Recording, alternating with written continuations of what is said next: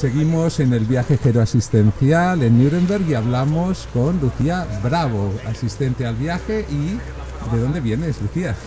Pues soy de Córdoba, vengo de una residencia que está en un pueblo de, la provincia que se llama Belalcaza.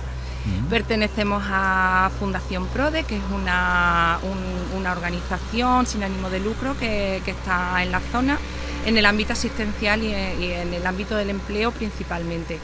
Y bueno, la idea de, del aprovechamiento de este viaje pues ha sido un poco eh, seguir trabajando, que es nuestro, eh, forma parte de nuestro espíritu, por la innovación. Estamos en permanente cambio, sabemos que ahora mismo tenemos una coyuntura muy, muy, muy eh, cambiante y queremos saber cuáles son las últimas tendencias. Es nuestra responsabilidad, puesto que, que trabajamos con personas.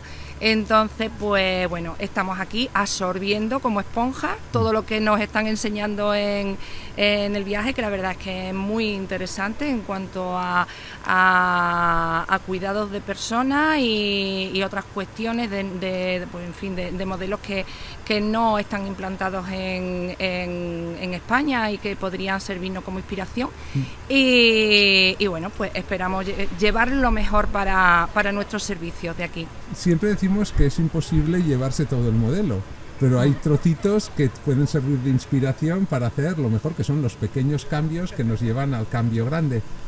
¿Has visto algo en lo que hemos visto hasta ahora que digas, mm, esto le voy a dar vueltas y me parece que me va a ayudar?